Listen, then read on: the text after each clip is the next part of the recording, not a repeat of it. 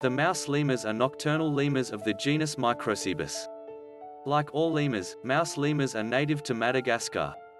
Mouse lemurs have a combined head, body and tail length of less than 27 centimeters, making them the smallest primates, however, their weight fluctuates in response to daylight duration.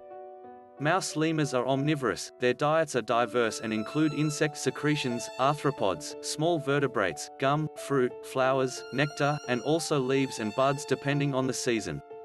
Mouse lemurs have the smallest known brain of any primate, at just 0.004 pound.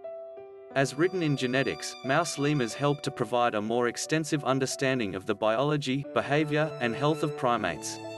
Mouse lemurs are categorized as prosimian primates.